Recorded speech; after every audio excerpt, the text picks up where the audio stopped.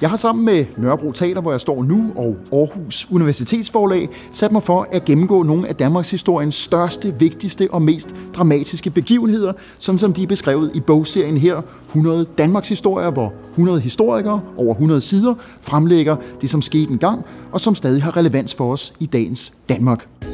En skuespiller fortolker aftens tema, hvorefter jeg sammen med en af forfatterne vender og drejer emnet.